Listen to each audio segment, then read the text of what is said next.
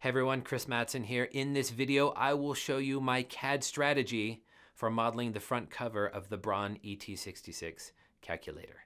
Let's do it.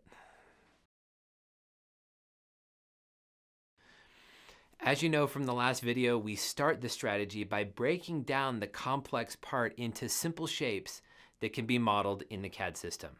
Now, when we're creating a CAD model of an existing part, as we are doing in this exercise, the engineering drawing, or if we have it, the physical part, is where we will find the details that are needed to make that solid CAD model. On the other hand, when we're creating an original part, an original design, we turn to our own hand sketches and simple prototypes and possibly even competitive parts uh, to make measurements and to understand how the complex shape can be best broken into its simple CAD modelable shapes. To make a CAD strategy, get out a piece of paper and a pencil and start sketching the 2D shapes that make up the calculator. Since you can't sketch all the features at the same time, you will naturally break the part down into its simpler shapes. When I did this, I tried to think primarily in terms of the following CAD operations. Extrusions, cuts, fillets, and chamfers. If you don't know what these are, I recommend that you go to the guidebook glossary where you find all of these things described.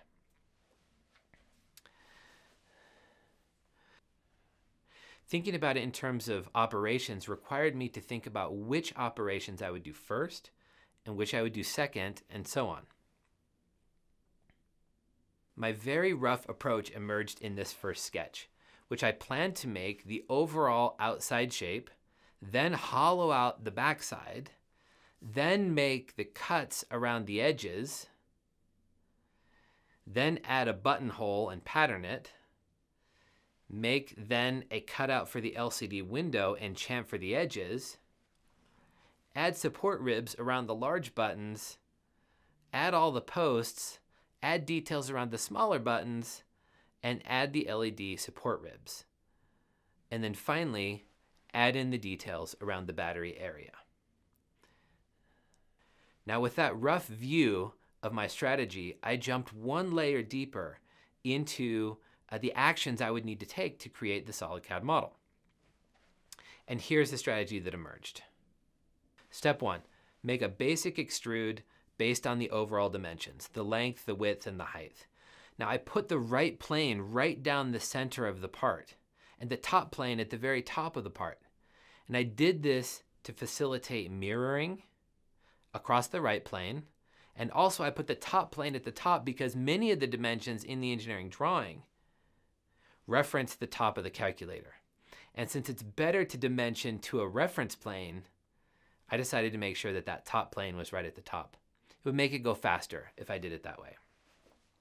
Step two, add the fillets at the corners. Step three, flip the calculator over in my head, right, and hollow out the backside. Step four, put grooves around the edges. Step five, cut one large circle for the button and then pattern it. Step six, cut the two small buttonholes. Step seven, cut the LCD window. Step eight, add the window chamfers, noticing that there are two different chamfers around that window. Step nine, flip the calculator over and add support ribs around the large buttonhole. Now notice that I made one strategy for getting those ribs and then realized that it would produce the wrong geometry, so I changed it. This is no big deal. In fact, the strategy is just a plan and we want that plan to guide us, but we need to know that that plan might need to change. And in this case, I realized right there during the strategy creation that it needed to change. So I just crossed it out and changed it. This is exactly what we want to have happen with our strategies. Now the same thing will happen when I jump into the actual solid CAD modeling. I will run into a problem with my strategy and I'll adjust. But the strategy itself got me going down the right path.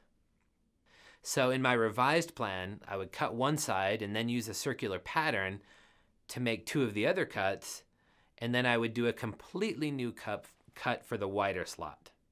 I would then pattern this entire set of operations to all of the big, uh, all of the large buttonholes on this top cover. Step 10, extrude one of the large posts on the backside and then pattern it as needed. Step 11, extrude all of the other posts and do whatever mirroring would be needed to get things from the left side to the right side or vice versa. Step 12, create three rectangular extrusions near the LCD window. Step 13, create all the other support ribs near the window. These are support ribs for the LCD. Step 14, create the basic battery holder shape as a full circle. And step 15, create the rectangular features under the battery holder circle. And then step 16, cut away material to produce the angular cutout that's in there. And then 17, cut out the large area near the top of the calculator, which uh, we can see from the drawings is not as thick as the other parts. Step 18, create a reference plane in between the two small button holes so that features can be added to one of the holes and then mirrored across that plane to the other hole. Step 19, actually create those features around the small hole and mirror them. Step 20, create the slots around the side of the front cover. Do this just on one side and then mirror it across the right plane. These slots are used to hold the front and back cover together with snaps on them.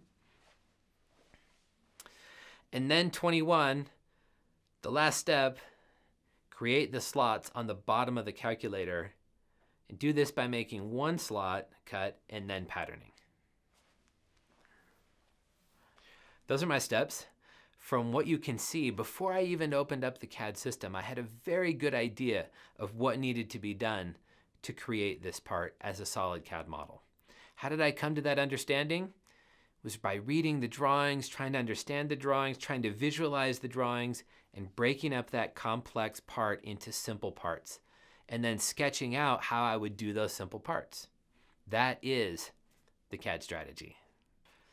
Okay, a few things to keep in mind relative to CAD strategies. I showed you one CAD strategy, and I believe that CAD strategy will work. But there are multiple CAD strategies that could be put together and followed to create this part. Now, don't get me wrong, there's also a lot of strategies that will lead you astray. Another thing to notice is that when I made mistakes during my CAD strategy, I just fixed them. And this is one of the beauties of working with paper and pencil, is just scratch it out and do another one. Now the same kind of thing is going to happen when I jump into the CAD system and begin the solid CAD modeling. I'm going to run into some problems, and those problems are going to require me to adjust my plan. And that's okay. I'll just handwrite a few other things uh, and be ready to go. The CAD strategy points us in the right direction. Without it, you will wander, and it will take longer to do the solid CAD modeling. I spent 20 minutes putting together this CAD strategy for the ET66 uh, front cover.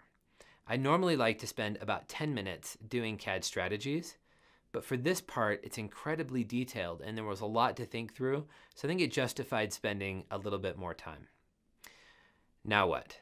You need to create a CAD strategy. You need to get in the practice of creating these CAD strategies and decomposing that product from its complex shapes into its simple shapes. Now you can use my CAD strategy as a guide, but I highly recommend that you hand sketch out the steps. When you sketch out those steps, you will come to a greater understanding about what this part is and how it is created. And so that's what I recommend that you do. I wish you the best on that. In the next video, I'm going to give you some tips on doing the CAD modeling for this complex part. I believe it will help you, those tips will help you from going down some